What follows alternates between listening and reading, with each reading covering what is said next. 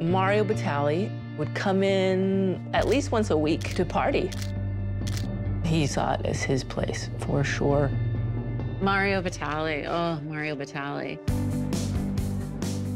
He's known for his orange Crocs and his orange stringy hair and a little ponytail. He doesn't cut a very dashing figure, but he's really charismatic, a lot like Ken. If loving these is wrong, I don't want to be right.